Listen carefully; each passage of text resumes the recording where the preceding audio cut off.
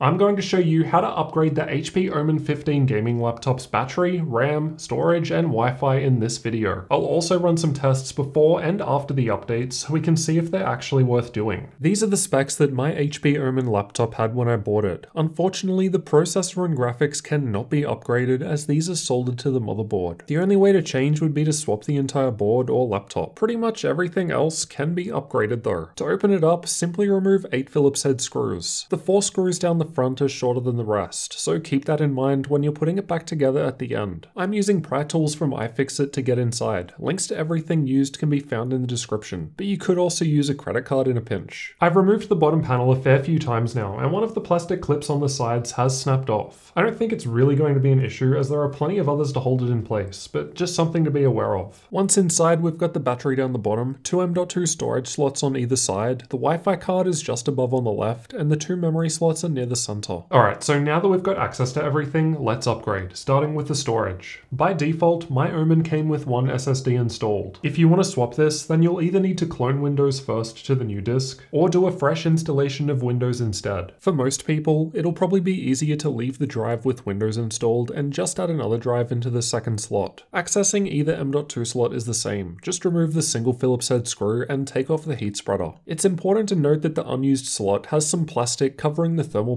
which you need to remove before use, so peel off the thin plastic layer. I've added the 1TB ADATA XPG SX8200 Pro SSD which they sent over, and this was giving me 3.5GB per second read speed and 3.3GB per second write speed. With the M.2 SSD installed, to get it working in Windows you need to go to Computer Management, Disk Management, then initialize the disk and create a new volume as I'm showing here. Let's check out the battery next. The Omen 15 is either available with a smaller 52.5 watt hour battery or a larger 70.9 watt hour battery, and both take up the same amount of space physically. So if you have the smaller one, you can buy the larger one from HP. Again, links are in the description. To take out the old battery, we need to remove 5 Phillips head screws. One of them is hiding under the M.2 drive on the left. So we've got to take out the SSD that comes with it to remove the battery. A little annoying, but nothing too difficult. I removed the battery cable from the laptop by using my fingernails on both the left and right side of the cable at the same time and pulling, but you could try plastic pry tools if it's stuck. Putting in the new battery is basically the same process in reverse. Connect the cable, put the battery in place so the screw holes line up, screw the screws back in, and put the M.2 drive back. When you first power the laptop on after changing the battery, the LED on the power button will turn on and off a few times. And after a bit, it'll show this screen. Basically, you need to press enter to clear CMOS settings for the new battery. Or if you do nothing, after a while, it'll just go ahead and do it. You might also need to calibrate the system with the new battery if it's its first use. The best way to do that is to fully charge the battery and then unplug the system and let it drain down completely to zero. Now by default, the Windows settings on my Omen 15 make it go to sleep automatically at around 7%, and I wasn't able to modify this either, so I just had to turn it back on when it went to sleep. You don't have to do this step, but if you don't, the battery life estimate in Windows might be incorrect. These are the battery life differences between the two batteries. I've got both results highlighted in red. The larger battery is lasting for around 35% longer than the smaller battery, which makes perfect sense given the battery size is around 35%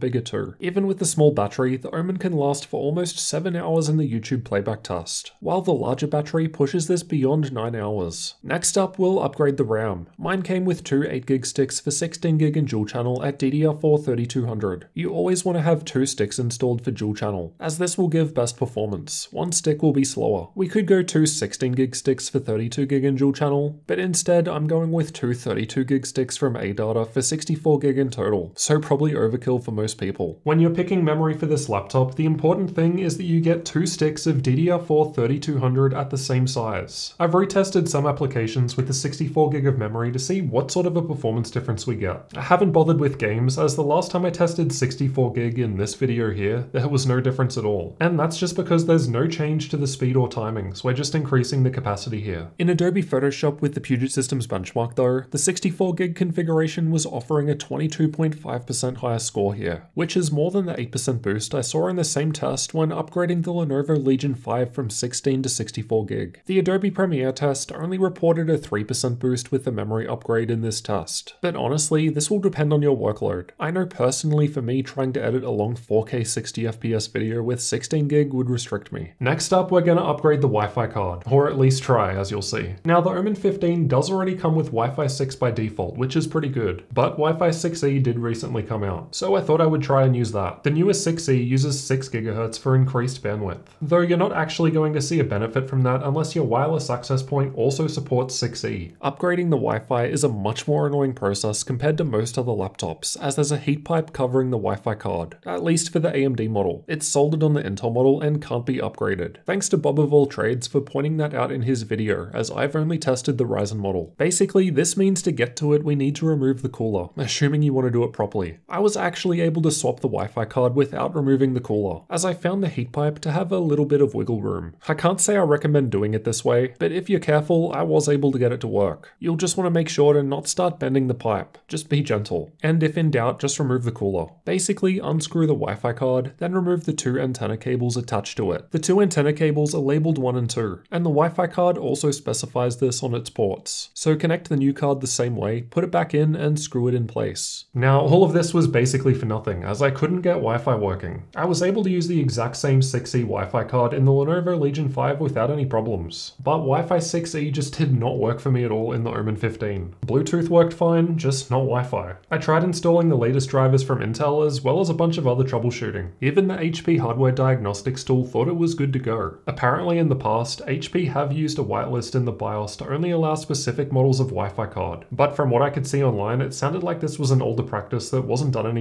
so I'm not sure if that's the case. After messing around for a couple of hours, I ended up putting the original Wi-Fi 6 chip back in and gave up. So at this time, I cannot recommend upgrading to Wi-Fi 6E in the HP Omen 15, at least until it's properly supported. I'm not going to cover thermal paste changes here, as I'm perfectly happy with the stock results. Plus, I want to keep that default paste from the factory so I can do fair comparisons with the Omen against other laptops in future. But if you do want to do this, basically you just need to unscrew the cooler, remove it, clean the old paste, apply new paste, and put the cooler back. So we've now upgraded the HP Omen 15's battery, storage, and memory, basically pushing this machine to its limits. It was unfortunate that the Wi-Fi 6E upgrade didn't work, but that was probably the least important upgrade of them all anyway. If you want more information on this machine, you can check out my full detailed review over in this video. I've also tested it in a bunch of different games and compared it against other gaming laptops in this one. So I'll see you over in one of those videos next. Otherwise, if you're new to the channel, then make sure you get subscribed for future laptop videos like this one. And let me know in the comments which laptop you want to see me upgrade next.